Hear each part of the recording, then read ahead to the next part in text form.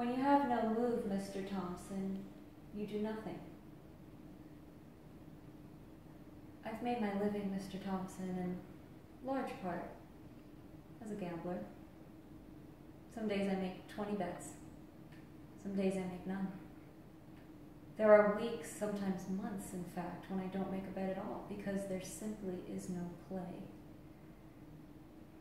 So I wait,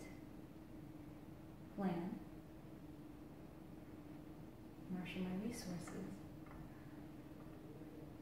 And when I finally see an opportunity, and there is a bet to make,